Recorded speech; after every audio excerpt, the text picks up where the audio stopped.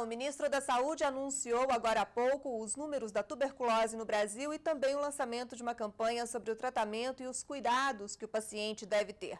Vamos então, mais uma vez, ao vivo, ao Ministério da Saúde, onde está o repórter Ricardo Carandina. Carandina, Renata, durante essa apresentação do balanço sobre os números da tuberculose no Brasil, o ministro também falou sobre as ações do Ministério da Saúde de controle e combate e prevenção da tuberculose. E o ministro Alexandre Padilha citou, entre essas ações, a importância de se trabalhar com movimentos, aqueles movimentos que atuam junto às populações que têm mais, os grupos da população que têm mais risco de contrair tuberculose. E entre esses grupos está a população de rua, que, ah, pelas condições em que vive, é uma das das populações que têm mais risco de contrair a tuberculose. A gente vai conversar agora, Renata, com o Anderson Lopes Miranda. Ele é representante do Movimento Nacional de População de Rua e a gente vai conversar um pouco com ele para saber de que forma eh, esses movimentos podem ajudar, podem trabalhar com essa questão. Bem, Anderson, bom dia. Primeiro, obrigado pela participação. Anderson, de que forma eh, o movimento, por exemplo, o Movimento ah, Nacional de População de Rua pode contribuir, pode atuar nessa questão da prevenção da, da tuberculose junto a essa população? População? O movimento ele tem site, tem portal, né? E ele também tem sedes no Brasil inteiro. O movimento está se constituindo apoio do governo e entidades. Então a gente todo esse material que hoje o governo federal está disponibilizando, a gente vai começar a colocar dentro do nosso espaço, onde a gente também tem reuniões com a população em situação de rua, plenárias para a rua né, e espaço de organização. A gente acabou agora de organizar o primeiro congresso do Movimento Nacional da População de Rua, que uma das temáticas com apoio foi a saúde, né? Como ter o cartão SUS, como acessar, como poder chegar, porque ele não tem endereço. E como ele não tem endereço, né? Quando ele está com a doença infectado, né? Pela tuberculose, muitas vezes ele não podia acessar né, os hospitais, AMAs. E agora, com esse acesso, né, o consultório na rua, que o Ministério da Saúde está criando, né, esse consultório na rua também vai ajudar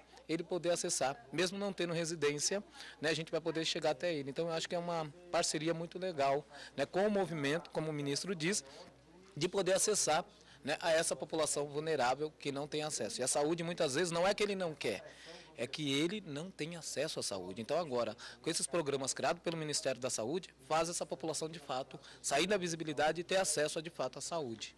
Agora, Anderson, você citou né, que, claro, uma população que não tem endereço e que vive basicamente dispersa. Como é que o movimento chega, como é que os movimentos chegam a essa população? Quer dizer, é um trabalho lá no lugar onde eles moram? Vocês vão conversar com essas pessoas? É, é, dessa forma que funciona? Isso, a gente vai também fazer divulgação desse material.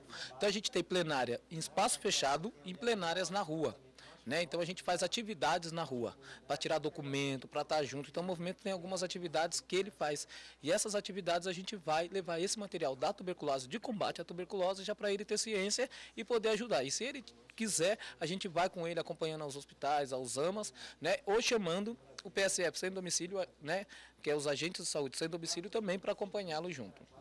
Bom, o ministro citou aqui uh, que a população de rua é, dentre os grupos uh, com mais risco, aquele que tem mais risco de contrair tuberculose. Quer dizer, é, a situação realmente, vocês têm notícia disso, a situação na rua é, é, é, é ruim é ruim. Não só quem está na rua, quem também está nos equipamentos sociais.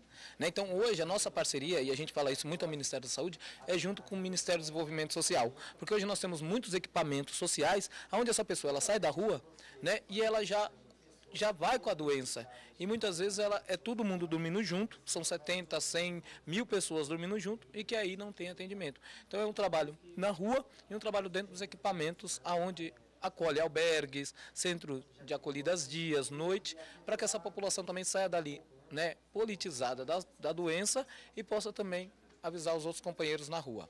Ótimo.